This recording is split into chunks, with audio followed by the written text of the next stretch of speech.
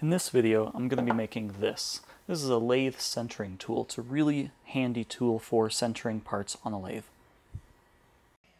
The first thing I needed to do was cut off a piece of stock for the actual lathe tool. I had some half-inch tool steel laying around from a previous project, and that was the perfect size to fit into my lathe tool holders, so I just used the bandsaw to cut off a 6-inch section, and that should be big enough for what I need. The next step is to move this over to the mill. I'm going to do this in two steps. I'm going to do one end and then I'm going to repeat all those steps on the other end.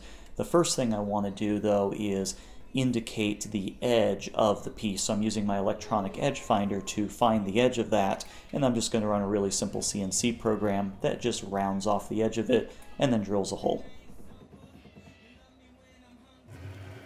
For the x-axis, I'm using a half-inch end mill to shave off the edge. That gets rid of the nasty cut from the bandsaw, also gives me a clean edge to start with, and gives me a nice place to reference off of. Since it's a half-inch end mill, I can take half of that, which is a quarter inch, and use that as the offset, and then I can easily zero off the edge of the piece. I've always liked this little trick for setting the Z height.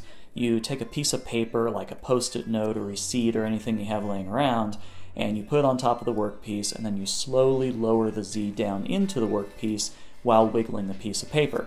And while you do that, you wait for it to stop wiggling and that means that the bit is touching the paper and also touching the workpiece and then you just kind of deduct out the thickness of the paper. It makes it really easy to set the Z.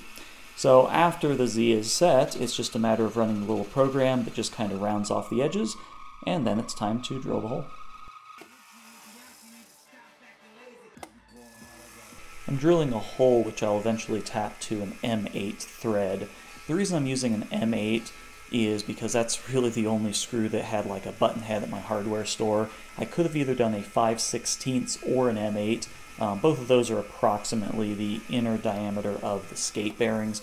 I just went with an M8 because I already had a tap on hand and it was a screw that I could easily find. I'm not really a big fan of tapping, and I'm definitely not a fan of tapping tool steel, especially with, you know, kind of old, inexpensive taps. So this wasn't too fun, but it came out okay. I went and duplicated the profile and the hole on the other side, so I've got two radiused corners.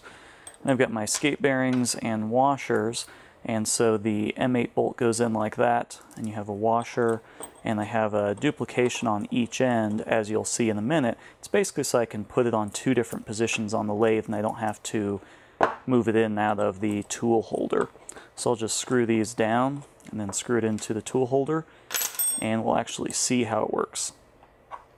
Here I've got it mounted in my quick change tool holder and it has the two bearings so you can mount it either on that side like that to go off this surface or you can switch it around to this other side and go like that.